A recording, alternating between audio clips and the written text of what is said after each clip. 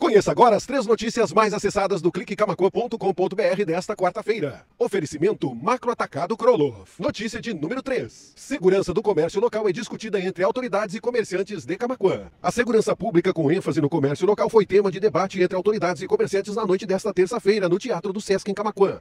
O evento organizado pelo Cindy Lojas Costa Doce teve como objetivo compartilhar preocupações, esclarecer dúvidas e fortalecer a parceria do comércio com a Brigada Militar, Promotoria de Justiça e Poder Executivo. Notícia de número 2. Projeto de conservação do bioma Pampa tem investimentos em Dom Feliciano. O projeto Aliança Mais contratou as duas primeiras linhas de crédito de incentivos a fundo perdido na última terça-feira. Os contratos somam 2,25 milhões de crédito e contemplam investimentos para melhoria do campo nativo, aquisição de equipamentos e melhorias em propriedades rurais localizadas nos municípios de Alegrete e Dom Feliciano. Notícia de número 1. Policiais são denunciados por suposto estupro em boate em Camacuã. Uma mulher de 23 anos, dançarina de uma boate localizada na Capitão Jangu Castro, em Camacuã, registrou boletim de ocorrência contra policiais por estupro. O crime teria ocorrido na última sexta-feira, dia 23, em um quarto da boate, conforme relatou a vítima para a Polícia Civil. De acordo com a vítima, os suspeitos são um policial militar e um policial civil. Ela afirma reconhecer o policial militar, mas não sabe identificar quem seria o suposto policial civil. Em nota, a Polícia Civil, responsável pela investigação, afirma já ter identificado um dos acusados, mas ainda está apurando os demais participantes. Estas foram as três notícias mais acessadas do Clique Camacuã www.com.br desta quarta-feira. Um grande abraço a todos e até amanhã.